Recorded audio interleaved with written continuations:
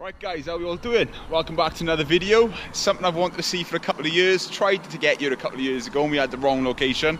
So was in the area. We thought we'd come and see it. So this is the Severn Princess, which is an old car ferry which was, well, predated Severn Bridges. This is what I used to have to cross the river rather than driving 60 miles a round trip up through Gloucester, etc this saved a lot of things. It's had some famous people on it over the years. Bob Dylan actually travelled this when he was doing a gig in Cardiff, I think it was. He used this to get back across.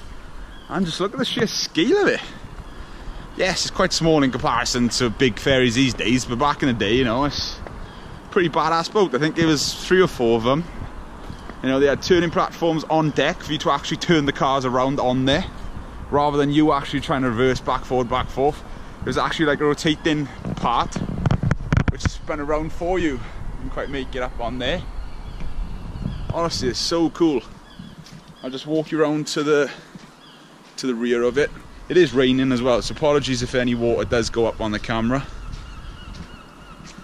But I'll just show you, look, propeller's gone.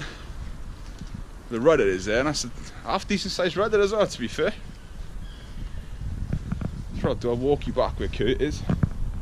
Just literally for you can see the wheelhouse I know, that's awesome.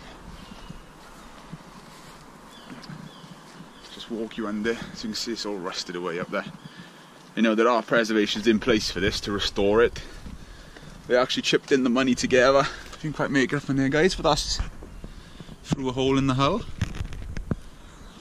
They actually chipped money in together to get this back from Ireland to bring it back home, so it's near enough, not too far from where it originally came from and it is awesome. That's all I'm going to say about it. I don't know if I'm going to get up on the deck because I don't really want to do any damage to something. And the way it's rusting away like that would be a shame. But here you've got the bow door. That would have dropped down to let the vehicles on and off. It's awesome guys, so cool.